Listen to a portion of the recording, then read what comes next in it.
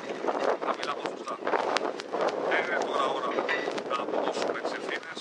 Είναι η ευθύνη των πολιτών όταν θα προσέλθουν στις κάλπες. Η ευθύνη δικιά μας είναι να σχεδιάσουμε την επόμενη μέρα με περισσότερη ανακύκλωση στην πηγή, με περισσότερα κίνητρα για τους Δήμους να ενθαρρύνουν τους πολίτες να